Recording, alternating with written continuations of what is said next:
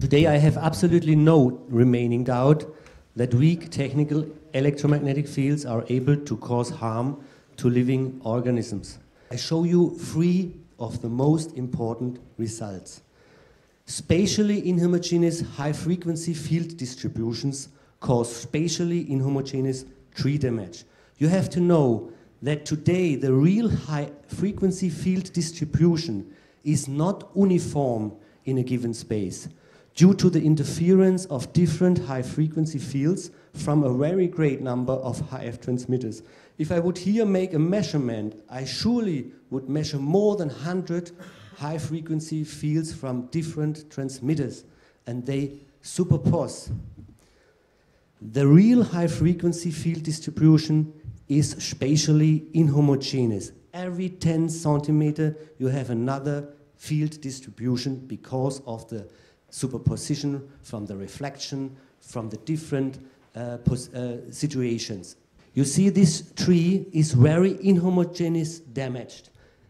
The top is more healthy than the left downside.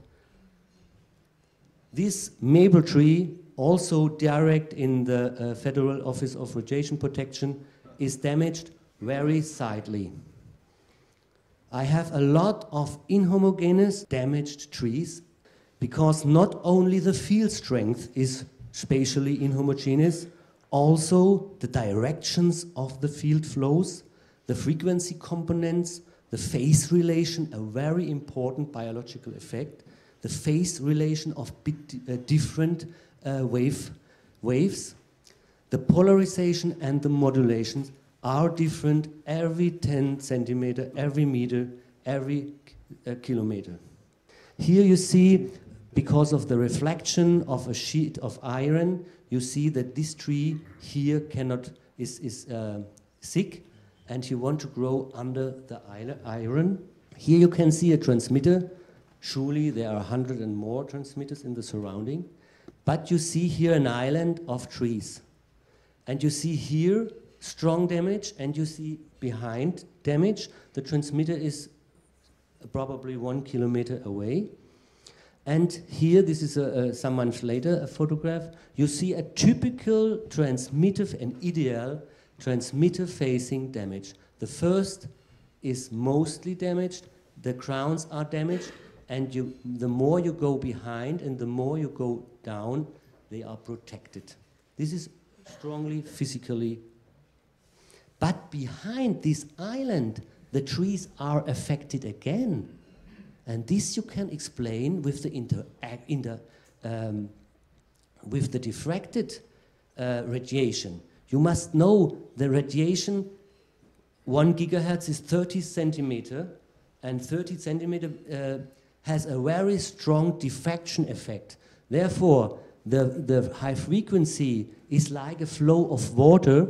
It comes here, a diffract around this island, left around this island, and right around this island, and to and comes together in this area and there you have because of the different wave uh, lengths lengths of the wave you have sh uh, shifted phases and therefore in this area you have a turbulent field I called uh, where the trees are damaged again now I have a question if you have learned something from which side is the interference uh, radiation affecting can you imagine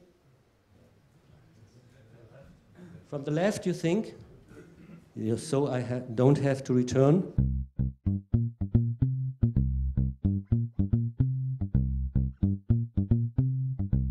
De volgende presentatie, die, uh, die spreker kan er helaas niet bij zijn. Dat is um, dokter uh, Goldworthy.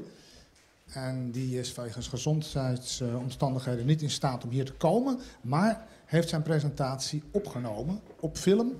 Dat komt.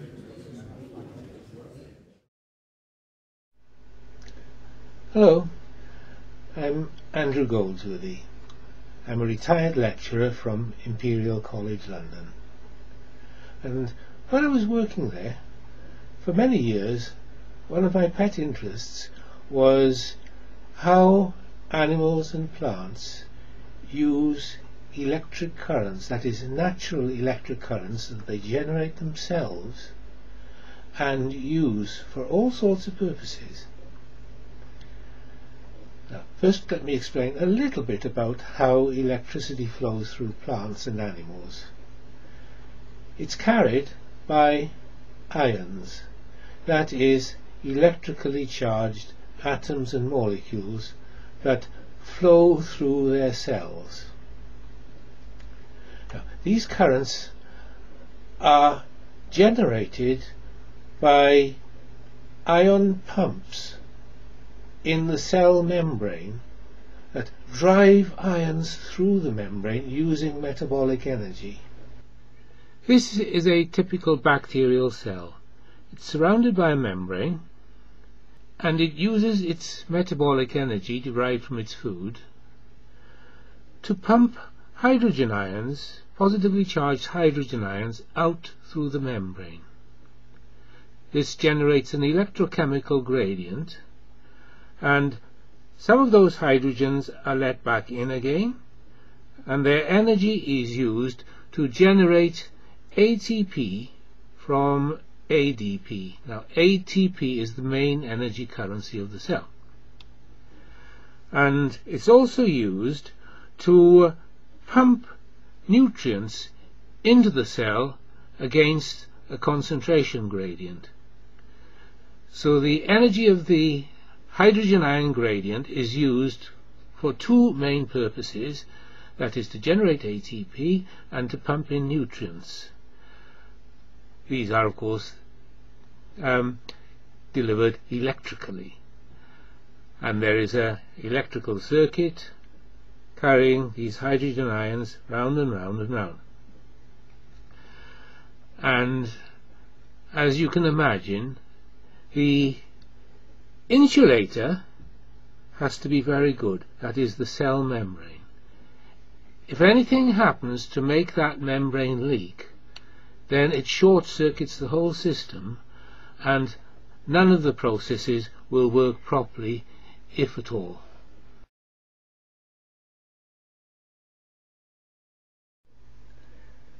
We've already seen that plant cells use DC currents extensively, but not alternating currents. Alternating electromagnetic fields damage cell membranes by removing structurally important calcium ions and it results in the cells leaking. This was first discovered in the 1970s by Suzanne Bawin and her co-workers in Ross Adey's lab. And I can explain briefly uh, why this loss of calcium is important. Cell membranes consist of negatively charged components which are held together by positively charged calcium ions. Uh, it's rather like the bricks in a wall are held together by the cement in between them. The positive ions hold together the negative membrane components. If you take some of this calcium away, the membrane becomes weaker and more inclined to leak. Now, this sort of leakage can short-circuit the membrane potentials that we have already seen and reduce the efficiency of energy production and energy utilization and perhaps also disrupt the orderly growth of polar cells. But perhaps the most serious effect of membrane leakage is through the membranes of lysosomes and vacuoles. Lysosomes in animals, vacuoles in plants. Uh, this is because these organelles are membrane bound and they contain various toxic materials and also digestive enzymes that are normally used to recycle unwanted materials. And these enzymes include DNase, which destroys DNA. And it's already been shown that mobile phone radiation uh, can shatter the DNA of animal tissue cultures in a matter of hours. And this leads to mutations, loss of function, and possible cell death. The same may be true of plants.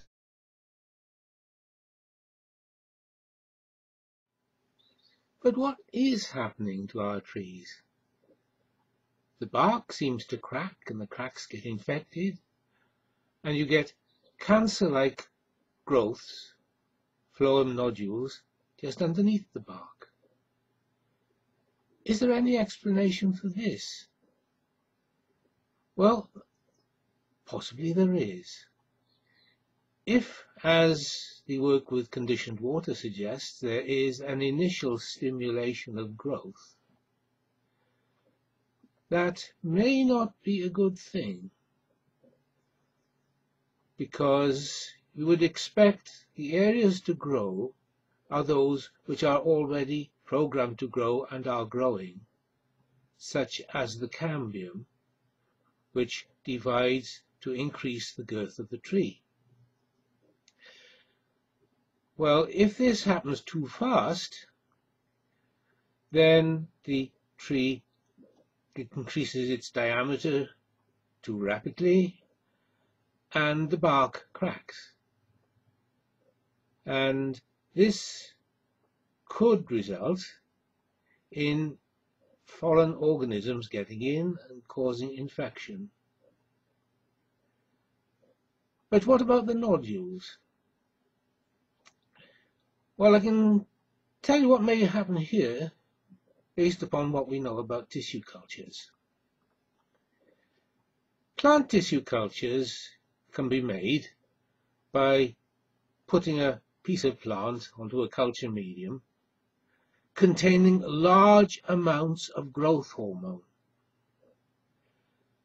And you find that the cut edges grow out as a form of callus, which continues growing indefinitely as a sort of undifferentiated mass so long as there are large amounts of growth hormone present. If you remove that growth hormone by putting it onto a fresh culture medium, the mass starts to differentiate into what looks remarkably like your phloem nodules. A little bit of vascular tissue surrounded by so callus-like tissue. Now, is this what is happening in your trees? Could it be that the initial stimulation of growth involved the production of large amounts of growth hormone, which produced this sort of callus-like structure under the bark in the phloem. And when the growth subsided and you hit the inhibitory phase, then they began to differentiate and you see what you now see as phloem nodules. This is just a guess, but it fits with what we know.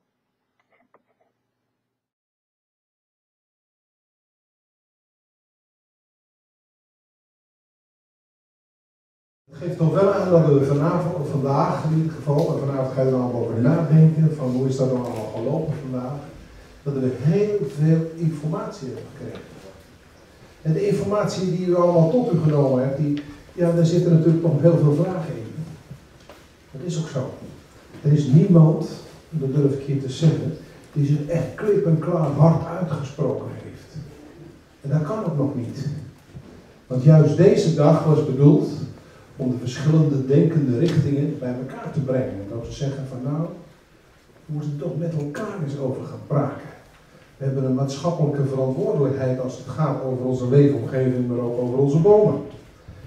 Ik zou eigenlijk bijna willen zeggen, wie vindt dat er niks aan de hand is, die steekt een rode kaart op. U weet wat dat betekent binnen voetbal? Kun je rode kaart. Ik zie geen rode kaart. Dus hiermee zeggen we eigenlijk toch vandaag met elkaar, we moeten er wat aan doen. Dit kunnen we ons niet zomaar laten gebeuren. U bent hier allemaal enthousiast, allemaal belanghebbend, het zij in het werk, het zij privé of het zij zakelijk, om het zo maar te zeggen. Maar ik vind dat hierin natuurlijk de Rijksoverheid en zelfs nog hoger de Europese overheid een daadwerkelijke maatschappelijke verantwoordelijkheid dient te nemen.